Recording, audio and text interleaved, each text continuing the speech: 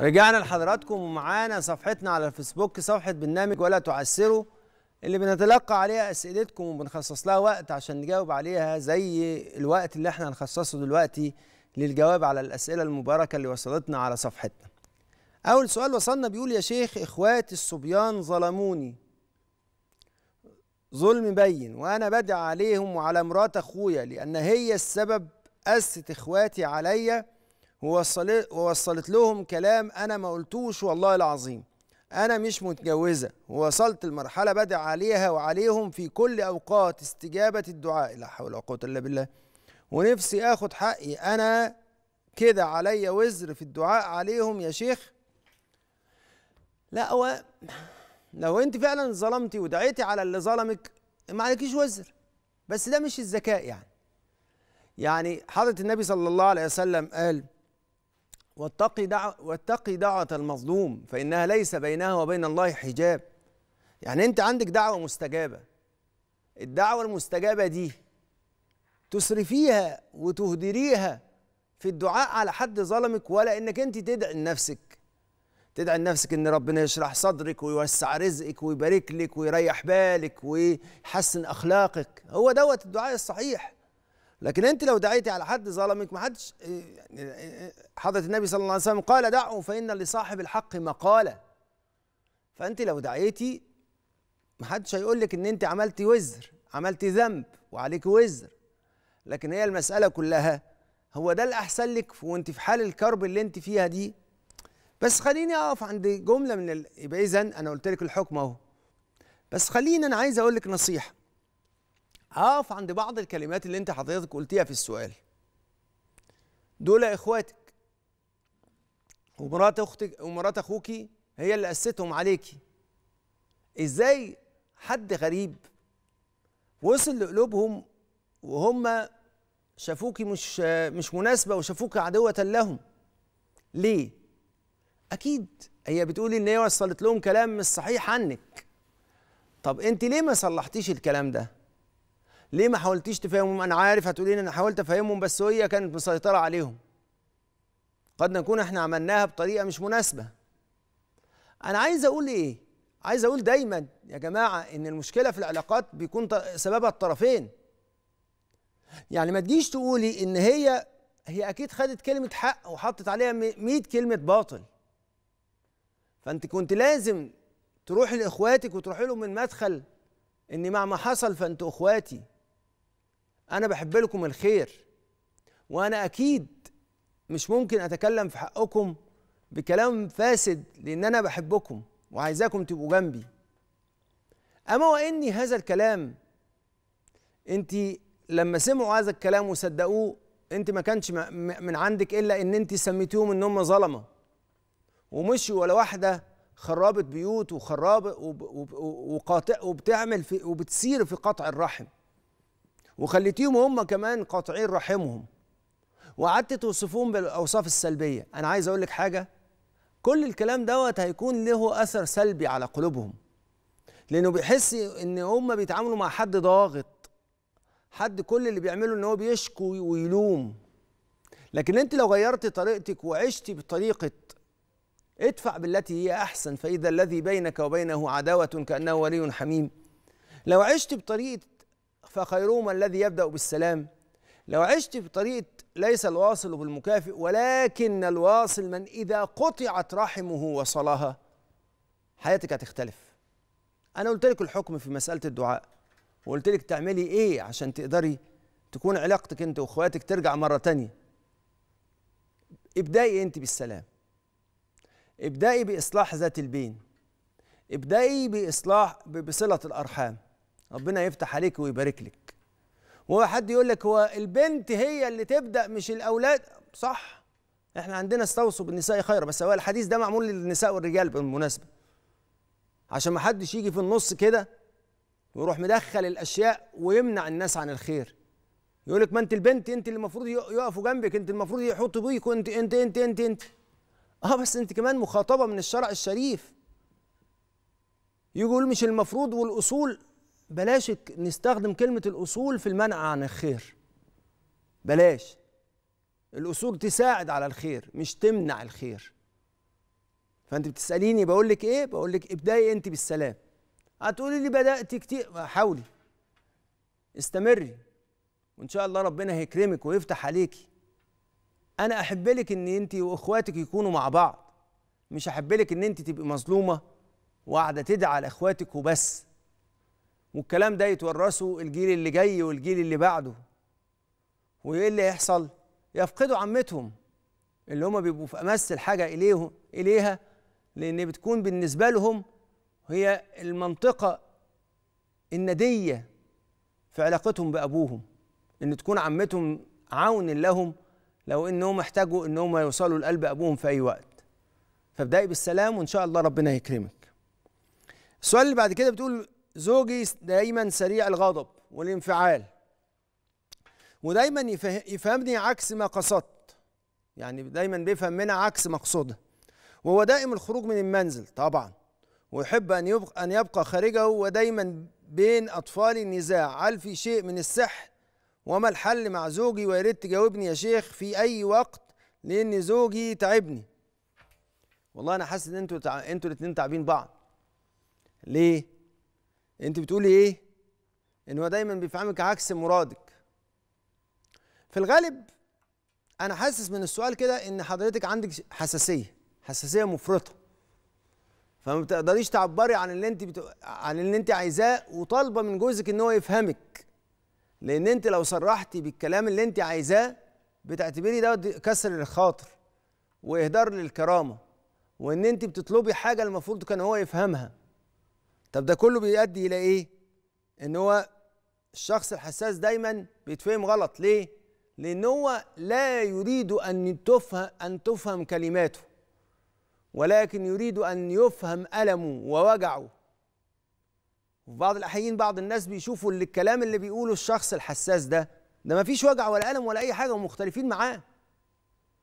فهو بيجي يقول لهم ما أنتوا المفروض تحسوا بالوجع اللي عندي. هو بيقول له طب أنت بتوجع ليه؟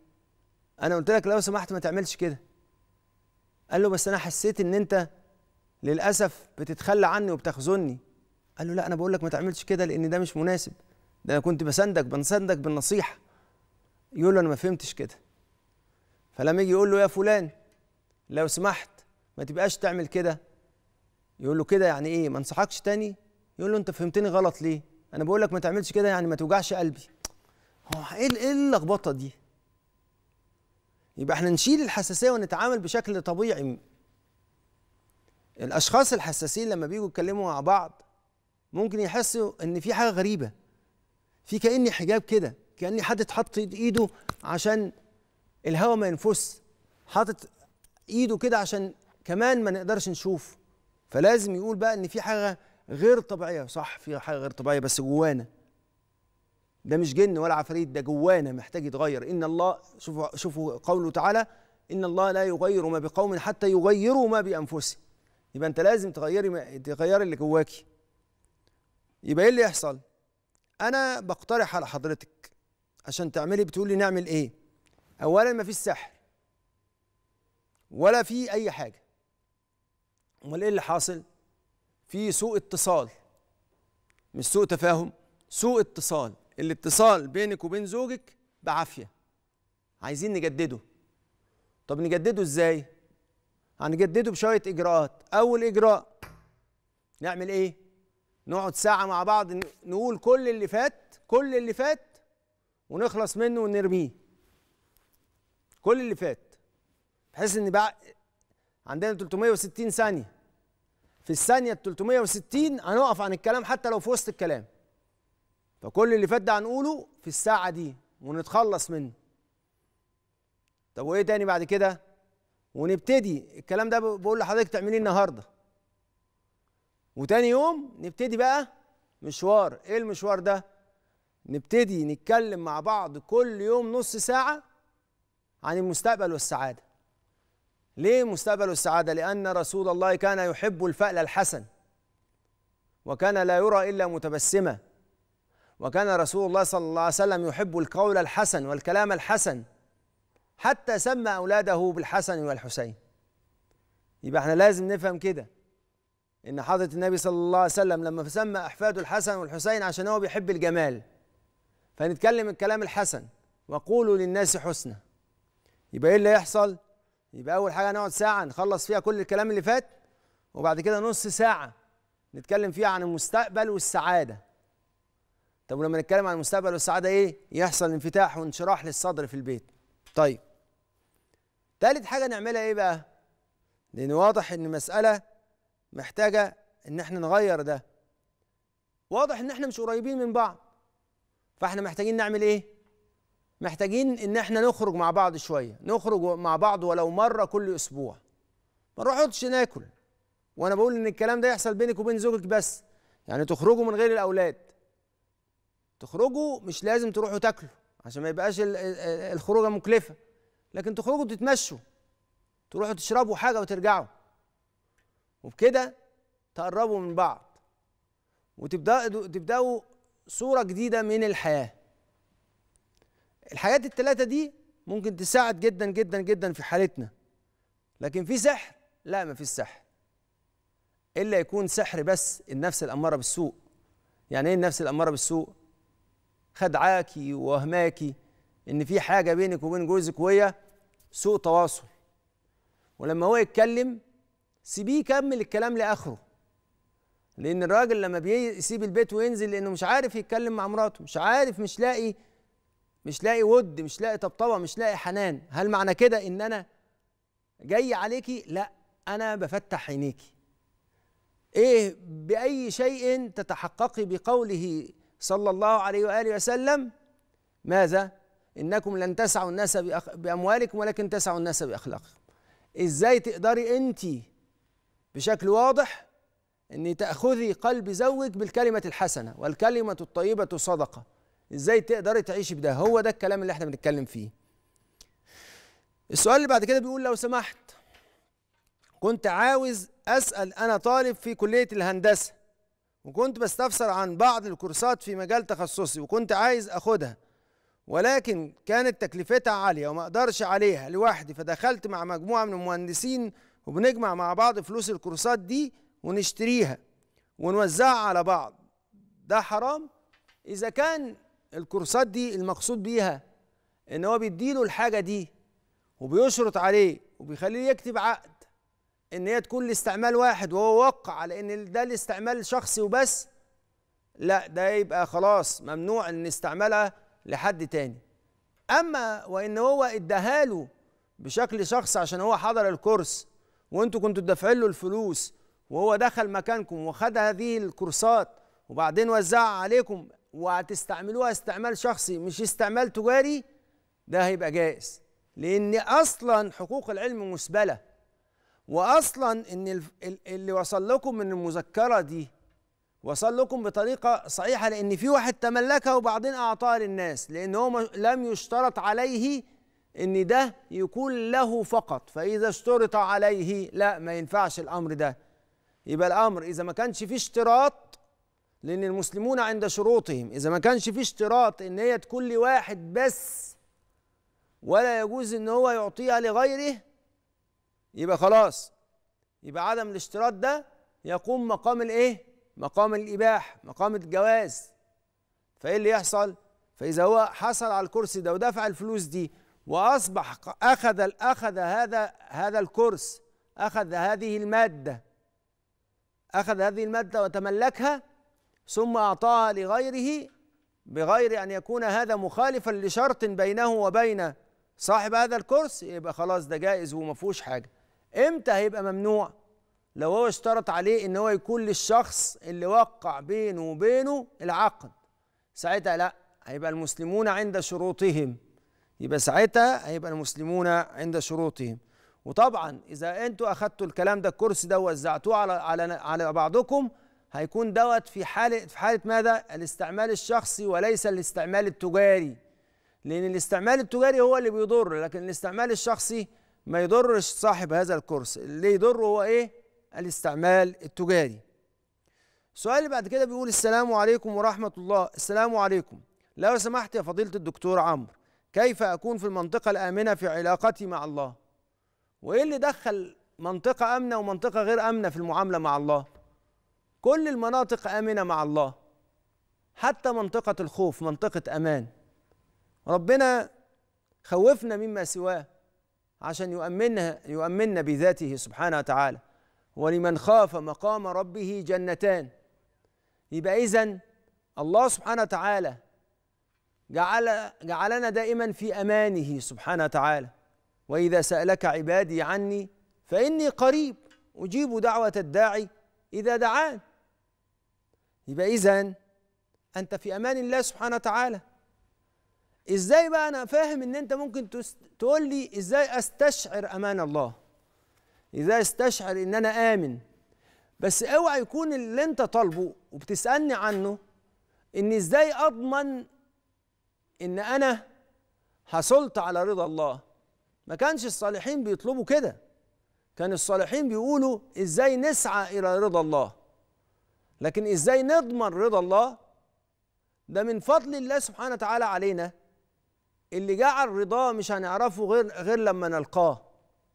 ولذلك حضرة النبي صلى الله عليه وسلم يقول لن يدخل أحد الجنة بعمله قال ولا أنت يا رسول الله؟ قال ولا أنا إلا أن يتغمدني الله برحمته يبقى من أفضل الحاجات اللي إحنا لازم نعتقدها إن ربنا ما أخفاش عنا رضاه عشان نخاف لكن أخفى عنا رضاه لندخل في أمانه فلذلك إيه اللي حاصل؟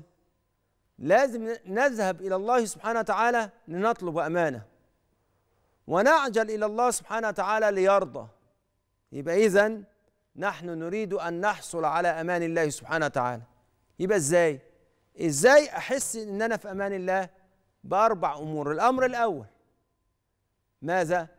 استحضار أن الله سبحانه وتعالى لا يفارقني وأن وأنني محل نظر الله فالباقي معك ما ودعك. ما ودعك ربك وما قاله. يبقى أول حاجة أنت دوما في حضرة الله. الأمر الثاني أني دوما أحس بالوصل الذي بيني وبين الله. طب إذا خف وصلي أناجي الله. يا سيدي خذ بيدي ولا تتركني لي. يبقى ده تاني حاجة. يبقى على طول أستحضر إن أنا في معية الله. تاني حاجة إذا خف إحساسي بمعية الله أخاطب الله وأناجي الله. على طول. ألا بذكر الله تطمئن القلوب. الحاجة الثالثة بقى أن أنا أداوم على السير إلى الله. يعني إيه أداوم السير إلى الله؟ خير العمل أدومه وإن قل. يبقى إيه اللي حاصل؟ أداوم على السير إلى الله. حتى لو كنت أعمل العمل القليل بس أداوم. لا أنقطع عن السير إلى الله. يبقى ما حدش يجي يقول له والله أنا مش حاسس بالأمان. يبقى أنا عامل ليه؟ أنا مش ضامن إن ربنا يقبلني. آه بس أسير إلى الله لأن سيري هو الذي يجعلني أرى نور الله سبحانه وتعالى عندما ينظر إليه. وقل اعملوا فسيرى الله عملكم ورسوله والمؤمنون. يبقى إيه اللي حاصل؟ يبقى أنا أسير إلى الله. يبقى ده ثالث حاجة، رابع حاجة إني لابد أن يكون لي في كل وقت ورد يأخذني ويجعلني أرد على الله، الأربع حاجات دول الورد دوت يعمل إيه؟ يجعلني دائما أدخل في حضرة ماذا؟ ماذا؟ فاذكروني أذكركم، فما بالك بعبد ذكره الله؟ ألا يحس بالأمان؟ الأربع حاجات دول استحضار إن أنا في معية الله سبحانه وتعالى. مناجاة ومخاطبة الله ودعاؤه. إذا أنا حسيت بأن أنا مش في حضرته. مداومة العمل. وفي النهاية أكون عندي ورد دائما يدخلني في حضرة الذاكرين ليذكرني الله سبحانه وتعالى. بكده أبقى أنا في حضرة مولاي سبحانه وتعالى وهذه الأعمال هي التي تجعلني في حضرة السيد سبحانه وتعالى. ودائما يا سيدي خذ بيدي ولا تتركني لي. إحنا النهارده اتكلمنا عن شيء مهم عن تجديد علاقتنا بالموت وإزاي نحترمه لأن هو جسر بينقلنا من حياة إلى حياة. يا رب اجعلنا على الدوام نستحضر معيتك ونكون في حضرتك. ونذوق حلاوة نظرك إلينا. يا رب العالمين اجعلنا دائما نذوق أنوار نظرك إلينا فتعمر قلوبنا بوصالك وتجعلنا دائما من أهل جمالك. يا كريم يا ودود يا رب العالمين يا أكرم الأكرمين جملنا بجمالك يا جميل.